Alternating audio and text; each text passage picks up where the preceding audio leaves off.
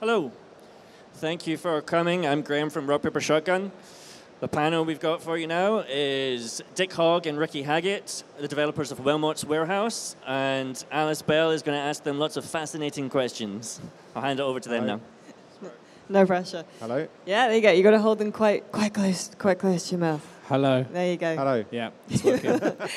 Thank you so much for joining us. Uh, and Wilmot's Warehouse, which we're here to talk about today, amazing. Uh, RPS uh, chose it as our uh, Can't Stop Playing for uh, one of our, was it a couple of months ago, last month?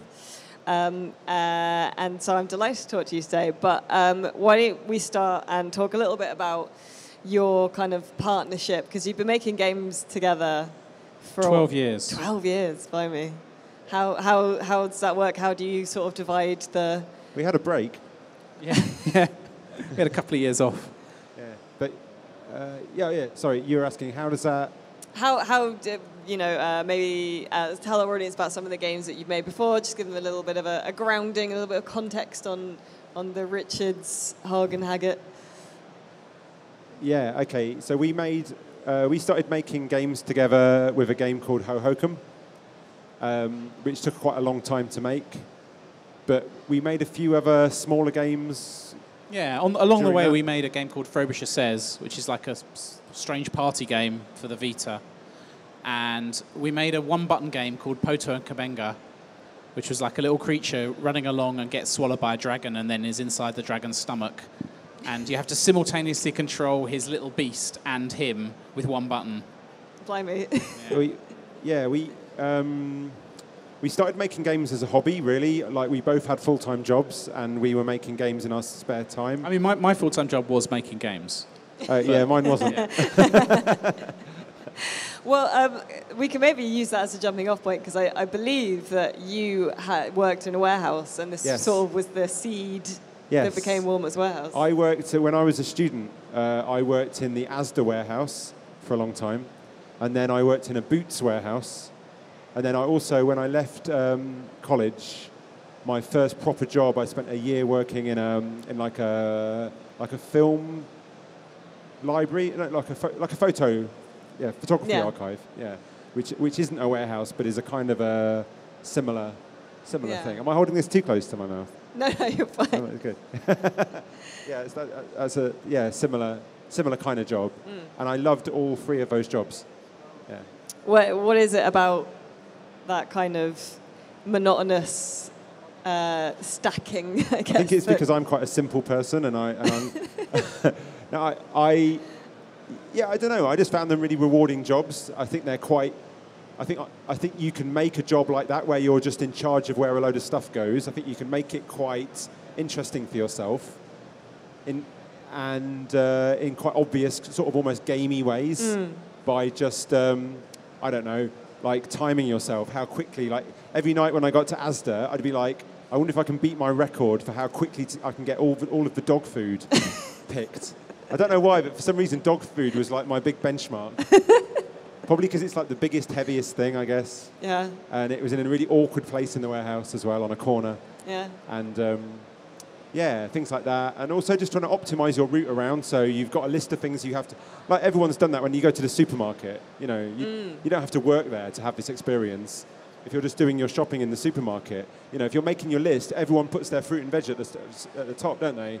So that, because that's Yeah. the bit you're going to hit first. Yeah, yeah, And then you can get more and more into that. As the, the more familiar you become with that place, yeah. the more the more you can drill down into optimizing your your route your route around it constantly based on this ever growing sort of intimacy with, with, with the space Mm. and then of course you can also as you work the longer you spend there you have opportunities to change it as well and say well actually we're now now that we're stocking um, teenage mutant ninja turtle items maybe they should all go here for instance that's an example from my real life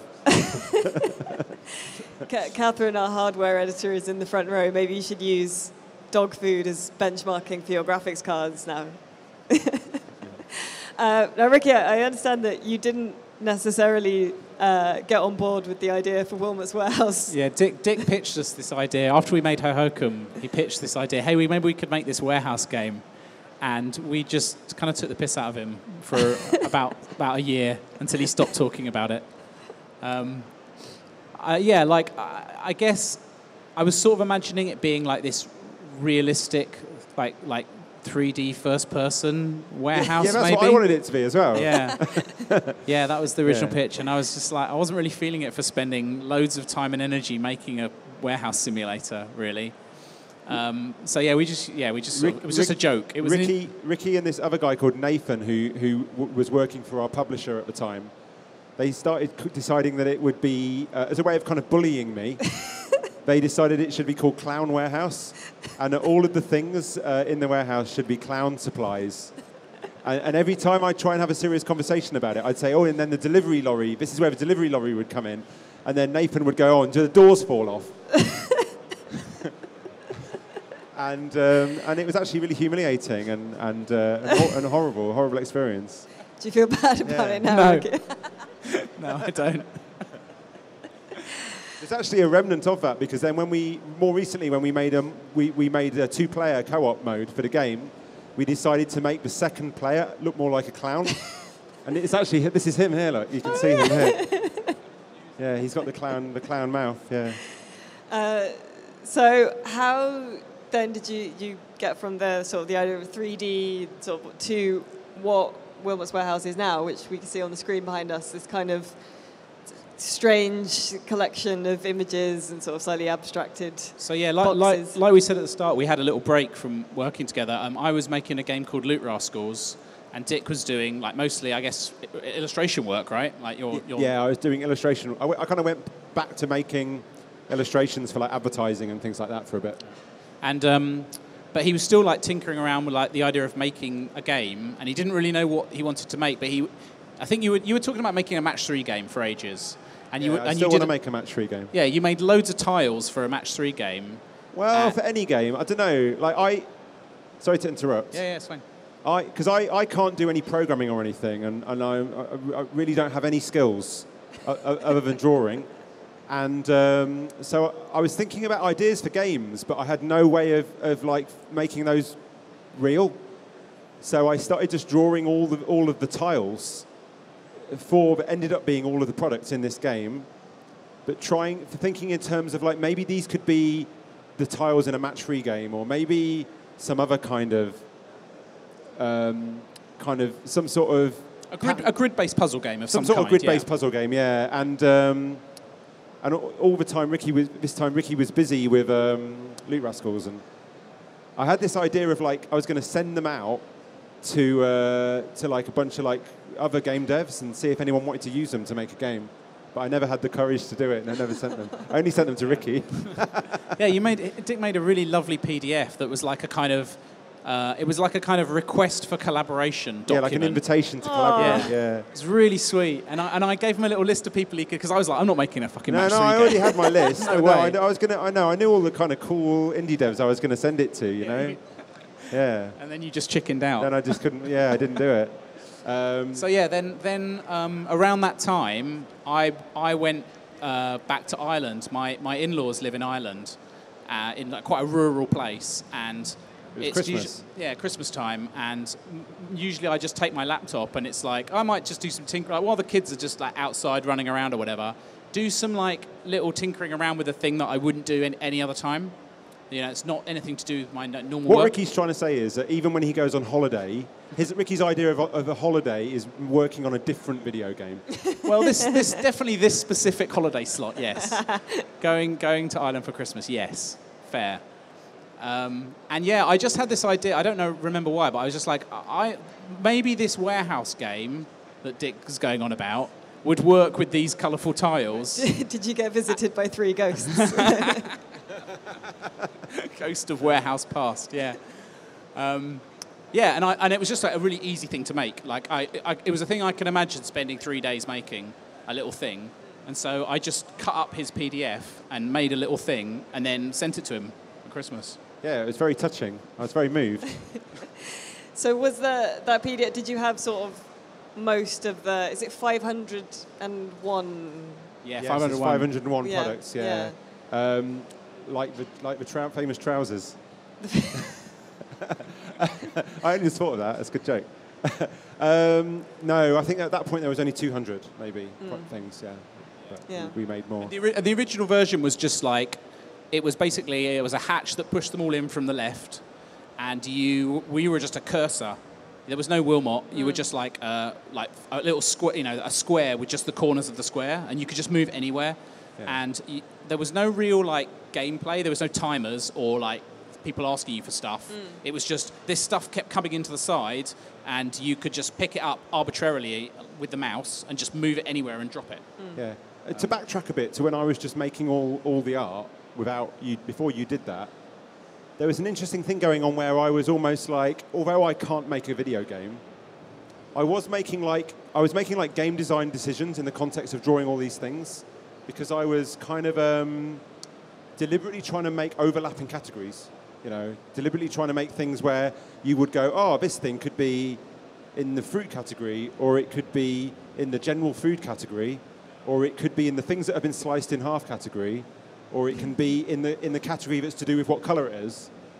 And so, as I was drawing all the stuff, an, I I just think this is a really good example of how you can actually do you can actually do meaningful game design tasks outside of the context of even using a computer or hmm. knowing anything about how to make a game. Yeah, I mean, there's there's tons of game design just in the tiles of Wilmot's Warehouse, right? Like, I think the art in that game has got so like apart from being beautiful, it's incredibly functional in the way that there's loads of interesting overlaps, and especially like especially the objects that you're not exactly sure what they are, where like you could get, show it to like three people and they all tell you it's a different thing. Um, that's like a really important part of Wilmot's Warehouse. Yeah. I don't think it would it would work very well if it was everything was just really obvious what it was. Did you watch that? Did you watch that YouTube thing where that guy's talking about how awful the art is? it's really good. It's really been loads of views. some kind of I don't know who it is. Some sort of I don't, I don't want to say the name of it because yeah, but some somebody that reviews games and gets lots of views on YouTube that did a little short like little short about Wilmot's Warehouse. They Mostly enjoyed it, didn't they? Yeah, mostly they enjoyed it, but then at the end he was like, "Oh, but the art's really like perfunctory." You know, I, I think the guy, I think whoever made this game just like bought two asset packs. it was great. a fundamental misunderstanding of the point. Yeah, yeah, yeah. It's fine. well, though. I'm really glad that you said that there's a things that have been sliced in half category because I feel very yeah, vindicated by that. yeah, there is a things that have been sliced in half. Because there's what there's. I think. I have a big argument uh, between myself and uh, Nate about a, a tile that I am convinced is half an egg. Yeah, And it he- is. That's canon. It's half an egg. It's ca- yes. Assuming you mean the same tile that I'm thinking of. I'm yeah. pretty sure. Yeah. um, so it went. Uh, it's originally was part of the humble um, original. Uh, humble g- bundle. Trove. yes, sorry. Trove. Uh, I'm really- the humble has so many things. Um, and so, what was the process of sort of getting from there to full release? Was uh, you change a, a lot going? I think that? yeah, we, re- we released it and then and then we entered it into the IGF and we got nominated for design Mm. uh, in the IGF at, at GDC, and I think out of that came a general desire to keep going. Mm. Like loads of people played the humble version and got back to us and like really enjoyed it and, and gave us like nice feedback and and then we and, and out of IGF we got a bunch of like sort of you know people who played it for IGF as jurying, Mm. giving us loads of amazing feedback and like I- ideas, and those things together kind of made us feel like the version we released wasn't like the definitive one and we could keep going. Felt like we'd not got it quite right, uh, and that the game deserved a bit more. Yeah, deserved to be kind of revisited and and and yeah, made into something. Yeah, almost we could. Yeah, we, we had a sniff of how it could be better, so we, we thought we better. And it hasn't it that. hasn't changed in any apart from apart from like um, two player co op. If you looked at videos of the original version and the current version, you probably wouldn't find it hard to tell any difference. But there's so many things that got either completely redesigned or just subtly changed in ways that involve Dick playing it for hundreds of hours and just tweaking things really carefully. Um, Yeah. you you played that game like so much, like uh, yeah, Unfortunately, yes. yeah. um, yeah, I did a lot of playtesting, and like. Um, Dick, Dick would say, like, I'd speak to him on a Monday, and he'd been playing it all weekend, and and he'd be like, "Yeah, this is definitely like, I, I don't think I can do any more playthroughs now. Like, that's the last playthrough I ever have to do." And, and, and, and that was probably only halfway through the process. He was saying things like that. Yeah, I think I was saying to when we did that interview with Nate. I think I was saying that um, I got to points where I kind of felt like I was going mad, and I and, and and it's really hard playing your own game. You know, if, if anyone's tried it, it's really hard. Or you know, because it's hard to kind of put yourself in the position of genuinely someone who's who's not the person that made it. Um, but then if you push, it- if it dep- depends on the kind of game you're making. Like some games, games that involve some kind of knowledge, like knowing the solution to to a kind of puzzle or knowing that a surprise is about to happen. Those games are really hard to play test if you're the person that made it. But if you're making something like a roguelike or, or like an, a game with more emergent um, mechanics in it, then then you can effectively play it as if you're not the person that made it. Um, but you still kind of are very aware that it's your game. And then after a while, you go through that period of kind of feeling like you're going a bit mad. Then after a while, you kind of hit this brick wall of like hating it so much, and that you am I allowed to swear? Yeah. Yeah. guess. That you just really don't give a fuck anymore, and you almost are reborn. You, you suddenly find yourself reborn as this person that really doesn't care any, really, really doesn't care about this game anymore. And you might as well have not been the person that made it. And you might actually find yourself thinking like, Who's this fucking idiot who made yeah, you might actually find yourself think, thinking about the person that made the game in a negative way, and then going, oh, actually, that's me. and I, I think I went through that cycle a few times, yeah. Um, but a really important point is that I'm not, I'm not advocating spending lots and lots of time playtesting your own game in a kind of really sort of macho, you've got to do the work kind of, kind of, got to put the hours in kind of way, because that's nonsense.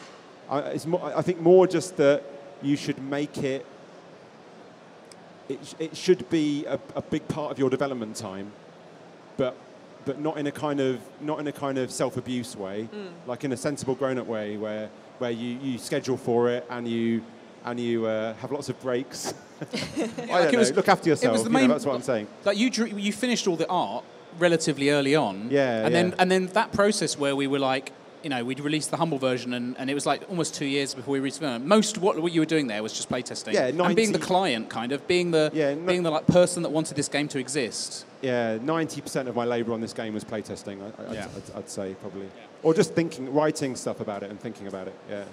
Uh, do you have a favorite a favorite tile? Oh God.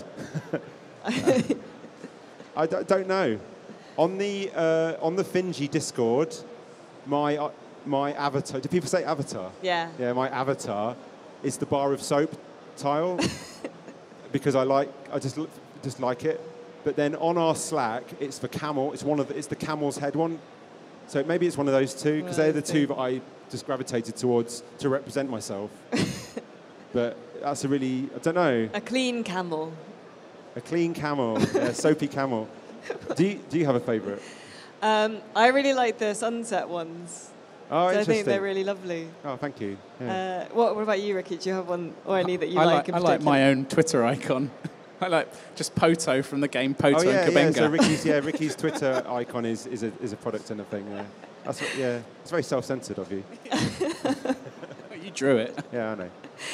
Uh, I did want to ask briefly as well about the, um, I suppose, not political aspects of it, but it, do, it does sort of gently sort of satire almost the, that kind of uh, with the motivational posters that you get and Yeah. and the fact that your rewards are all just things that let you do your job better. Uh, yeah. Do you want to talk about this? I, I can do. She was Yeah. asking you. Alice was asking you. I But, would, uh, No, it's but- open to both of you. I don't, I feel like I feel like that that stuff. We talked about that loads, didn't we? Like the Yeah. vibe, getting the vibe of that stuff right. yeah, like Um, um, somebody asked me. Somebody recently on Twitter was like calling me out, saying, "Does Wilmot's Warehouse deal with unionisation?" And also, lots of people talking about it as an Amazon simulator as well. Yeah. Like- and uh, I, I felt bad that it doesn't, it doesn't actually handle the subject of unionisation. I actually do feel genuinely bad about that, and I kind of wish it, wish it, wish it did. It does. So lots, yeah, as Ricky just said, lots of people, when they see Wilmot's Warehouse, they're, the a way of describing it, or a way of kind of, a way of kind of trying to encapsulate it in a sentence is they say Amazon simulator, Amazon warehouse simulator. And actually, uh, it's not at all because it, it's it's a simulation of a, of a warehouse that existed before the way warehouses were before the sort of frightening practices that that, com- that companies like Amazon have, have introduced into logistics. And actually, uh, lots of people. There are still lots of people that work in logistics who who work in warehouses that are still like the warehouses that I had the privilege of working in in the, in the 1990s. You know, where you do have yeah, like the sort of things I was talking about earlier about optimizing your own route around the warehouse and, and almost like making it quite a playful experience or at least one that at least one where you can kind of every day in a really sort of fundamental way just just try and be more try and try and be better at the job in a way that's rewarding Yeah, people having agency in their own working lives. Exactly, yeah, yeah. It, is like an important part of Yeah. working, uh, yeah. and and the fact that that like companies like Amazon are kind of removing that agency where they're turning people into literally just like effectively robots that just get a list of instructions about where to go and pick pick the things from where they're told to go feels really like dark. I think this is common knowledge now, but just in case anyone didn't realize it, the way an Amazon warehouse works is that all the stuff is, is random. Everything in the warehouse is just put anywhere. So the people taking, the people bringing stock into the warehouse can just put it anywhere they like, as long as the computer knows where it is. So even two things that are the same product don't have to be next to each other at all, which is really strange. and then, so then the pickers go around and they're just told, go to this location and pick up what's there, go to this location and pick up what's there. And it, there is no rhyme or, like, unless you happen to be the computer that chooses those picking routes, the whole thing seems completely uh, arbitrary. There's no rhyme or reason to it, which is such a ter- just imagine trying to work in that environment.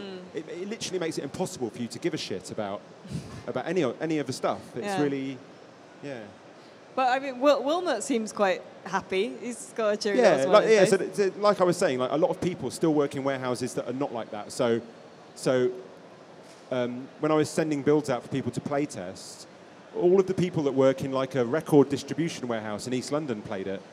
And uh, Really? gave me some good feedback, yeah. And uh, they're people that are lucky enough to work in distribution jobs where it's still like a nice human, you know, it's on a human scale where you can yeah, it's like a, a real space that people feel ownership over and familiarity with, and and they have nice tea breaks and things. And yeah, I think my, yeah, you know, lots of warehouses are still like that, definitely. Um, the game, the game gently, the, the, the, the game gently introduces the theme of automation and and and and kind of uh, I don't know, satirizes is the right word, but it it, it hopefully makes you think about how automation is changing the nature of people's jobs, but in a very gentle, light-hearted, hum- sort of humorous way, which is the only way me and Ricky can really talk about anything. So, yeah. Uh, I did want to ask because going back a little bit, you mentioned that um, originally there was no Wilmot. It was just so. At what stage did you decide you needed a a face? We got quite far. We, we got to the point where you could play the whole game and, and stuff would get delivered, customers would be there, there'd be like um, upgrades, I think. Um, and it just kind of sucked that you were this, um, you, you just were this floaty thing that could go through everything. And it, and, and it meant that you know, keeping a warehouse tidy wasn't a, a big deal a lot of the time when you're like moving around because you could just go through everything. And yeah, and, and then it was like, well, maybe we should give the player a physical presence. And then as soon as you give the player a physical presence, of course it has to have a little smiley face on it. and then and then out of that, you start to spin like much more of a sort of sense of the world and the other characters and just the general vibe and the tone of it. But yeah, like it was it was pretty fully playable just without a character. Um, and, and, and introducing a character added loads of hard problems because as soon as as soon as Wilmot exists and has a physical presence and can get trapped, you then have to deal with like, oh, what happens when you just can't get through this gap with all the stuff you're carrying? Do you then have to like drop it all, somehow move it all around so you can get through the gap and then pick it all up again? That really mm. sucks. So it's like, oh no, you should be able to push blocks. Oh yeah, yeah. Yeah, but all of that introduced a whole that introduced a whole level of a whole like class of kind of puzzle gaming, which which is actually like became quite a big part of Yeah. what the game is. So so that's a good Yep. thing. I think. And do you have a, a sort of favorite way to? Because it was funny when we were sort of in our real like madness of playing it. We'd all at lunchtime we'd like load up our warehouses and sort of give each other tours of like how. That's and you know really how good. like I don't when, believe you, but it's good. I when like- someone's parking a van and suddenly like three other people who've parked a van before will turn up and go, oh yeah, yeah. like we'd all kind of gather around like Graham's screen and be like, oh, that's where you put that. Oh, yeah, yeah. And That's what- interesting, Graham. yes. and then go, Graham's an idiot, and then go back and, and do your warehouse properly. So do you have uh, favourite ways to categorise your warehouse? Rick, Ricky's never played it. I don't play Wilmot's Warehouse. I, I've played that game thousands of times, but only to like test how how Wilmot moves around, picks things up, rotates actually played it. things. I've Yeah. never actually played the game for more than about 20 minutes. This oh. is a huge coup. I wasn't Yeah. expecting I don't that. like Tetris either. Sorry. It's okay. I, I'm the worst person to talk about this because I know what all the stuff is, and I I. was going to say, are you like the canon? The canon is all in your so head. It's like- really hard for me to not just organise it the way that I kind of know it should be. Yeah. But maybe I'm wrong. Like I'm just the guy that um, drew it, but but I because the game does have built-in categories. Yeah. It has categories that aren't built in as well, but it has it does have sort of built-in obvious categories, or maybe they're not that obvious. So it's hard for me to not organise by those because I know what they are. But sometimes I I force myself, and I um, I'm bemused by people that just organise by colour. Uh, Really? Personally, yeah. And especially there's, a, there's people that don't just organise by colour. I've seen people on, on the internet saying, yes, the best way to play Wilmot's Warehouse is to organise by the colour of the top left pixel of every tile. So whatever the top left pixel is, that's where they go. And it's like, That's how it chooses what colour the bar graphs are. yeah. Um, it, it, like, it totally makes sense to, to play it like that, but I, as long as you're still having fun, I guess. But, but it seems Well, a bit. it- it's possible to play Wilmot's Warehouse not organising anything as well. Yeah, of course Just it let is, the yeah. stuff, just leave it where it is, and just like remember where everything is. It's just like not fun at all. Yeah, we, we had a playtester who did that, a young Yeah, guy who, yeah. uh, who playtested it like that.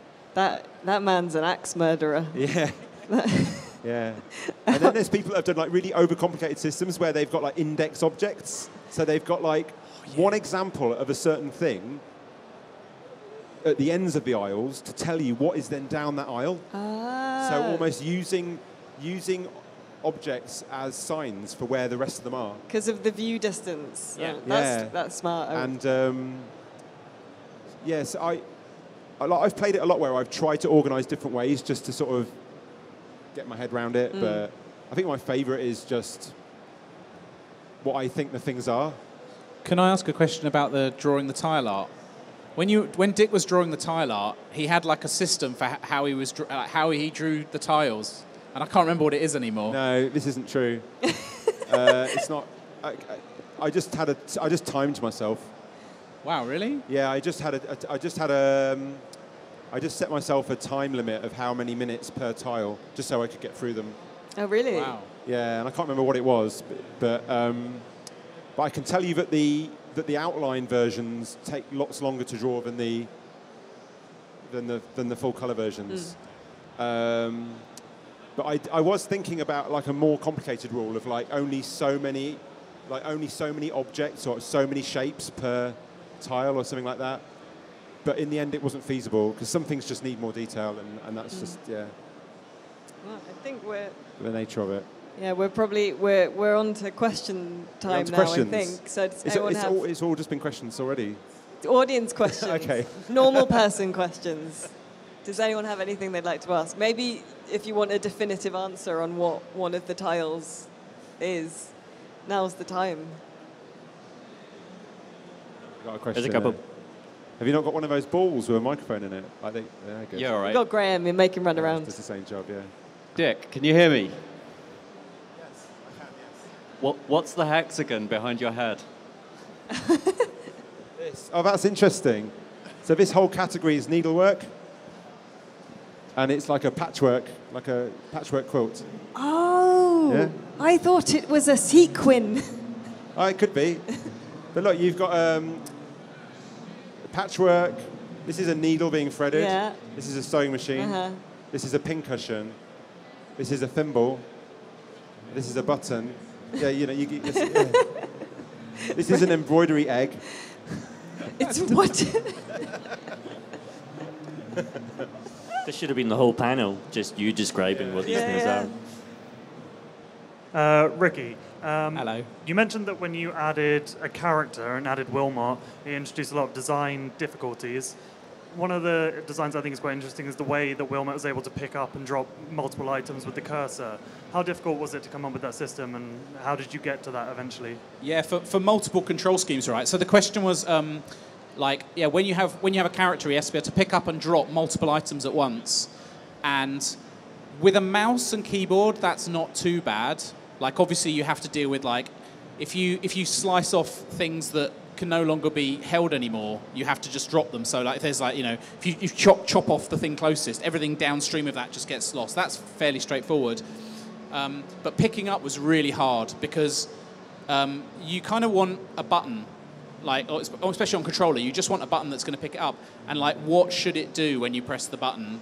And we spent a long, long time uh, trying stuff before we came up with the idea of like a cursor that sits over the blocks that you have control over. That, that and, and then and then figuring out like originally the original implementation of that was the cursor spawns on Wilmot always, but actually it turns out you can do rather better than that in terms of deciding where to put it. So it can, you know, if you if you have a bunch of blocks and the, and, and the game knows what you're after and you move, the cursor can go somewhere that probably makes sense. Um, and then it took even longer after that for us to realize that it would be a good idea to like have a just a left analog sti- let stick do it and then just a modal button that just toggles between those two things um, and at each stage there were lots of arguments it was the thing we it was really the only thing we properly had like really in-depth back and forth complicated discussions i think about um, Yeah. Yeah, it was really- difficult. That was a really difficult process, wasn't it? Yeah. Um, Adam Adam Saltsman from Finji was really helpful with that. He he. He had he had lots of good insights into into what would work there. I remember. yeah Excellent. Anyone else? Oh, Isn't? Hi. Uh, for such an abstract game, it feels very British. Um, was that an intentional design decision, or was it just something that came out? It feels very British. Yes. Yeah, Yes. that's because we were trying to get that grant where you can you get money. No, I'm joking. I'm joking. I'm certainly joking. um, I I think that that's a really so there are things in the game that tell you where it's set, and it has things like it has a tea break, and it, it has, ha- a, it has a poster with a giant map of the a5 yeah, it has yeah. Um, tamworth and, and, and lutterfoot It's actually set in Lutterworth, uh, if, if anyone's interested. Um, but I don't think it was a really deliberate decision. I think it's just our, our nature to to set the game in a in the real world. I guess I don't know. Like I, I can't really remember why. Yeah, it just seemed to come naturally. At some point in the game, um, so we were talking about Reginald Perrin. I don't know if you're familiar with the uh, Fall and Rise of Reginald Perrin which is a very, very British sort of humor, uh, sort of humor thing. And we were talking about that a lot as a sort of, as a kind of, as a, as a reference for, for how we wanted the humor in the game to be. And then we, uh, we pretty much lifted the boss in reginald perrin's yeah, cj well, we straight it, yeah, from yeah, Well, no, well, we, we did it very deliberately because it's, uh, uh, during development, the, the David Nobbs who wrote those books and screenplays died, and uh, I was very sad about that. So we decided to make the CJ character in the game literally be CJ, as a very obvious, hopefully like a, a homage to to those to those stories, and um, and obviously that make that that again is a very British thing. So it has there is a there is a category of British things in the game as well. You may Is have there? noticed. Yes, there is. And the one that people, the one that loads of people on the internet don't know what it is, is the British Rail logo. yeah i love i love seeing people discuss what Americans, that is. Americans on Twitter going, "What is this?" And it's the British Rail logo. Like, how could you not know that? Oh, or wonderful. cricket stumps is another one that no one gets as well. Fantastic. I think we've maybe got time for for we've got time for one more. No. No problem. That's all right. Okay. Well, Okay. thank you very much. Thank you very much. Thank you. Thank Cheers, very. Alice. Round of applause, please.